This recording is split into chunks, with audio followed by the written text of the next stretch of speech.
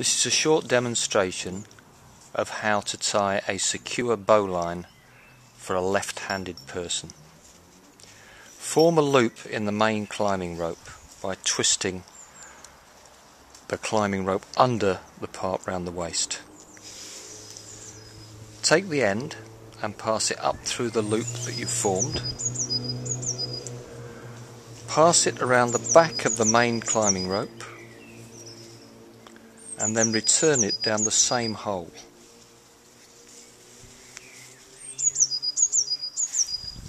To secure the knot, take it outside the waist loop, down through the waist loop,